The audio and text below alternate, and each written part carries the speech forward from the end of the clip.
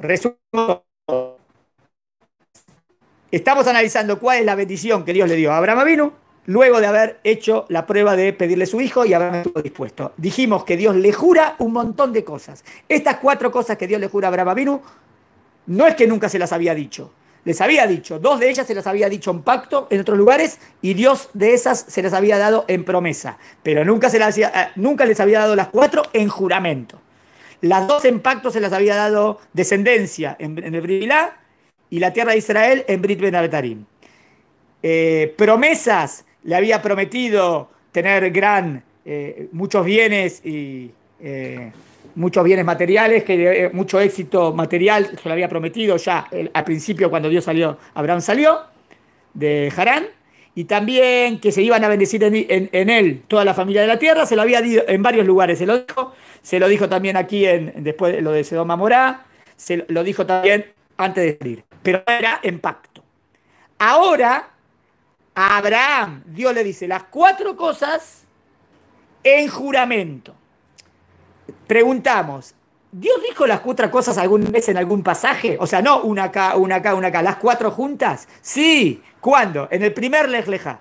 Cuando Abraham vino salió de Israel, ahí Dios le prometió, pero no le juró.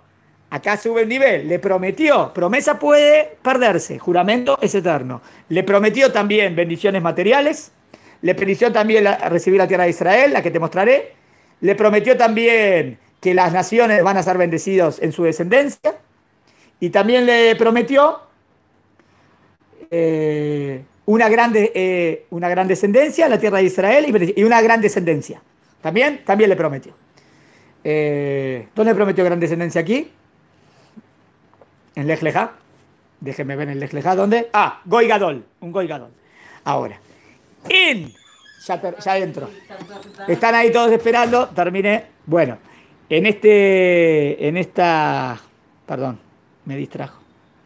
En esta bendición, en este, en este texto, le, jura las cuatro cosas, todas juntas, eh, eternamente, con juramento, con juramento, es algo unilateral y es eterno y para siempre. Y eso es lo extraordinario. Quedan preguntas pendientes, después las voy a contestar porque tengo que empezar en una clase acá inmediatamente. ¿Está bien? Les mando saludos a todos y les contestaré después, si Dios quiere. Bueno. Saludos a todos.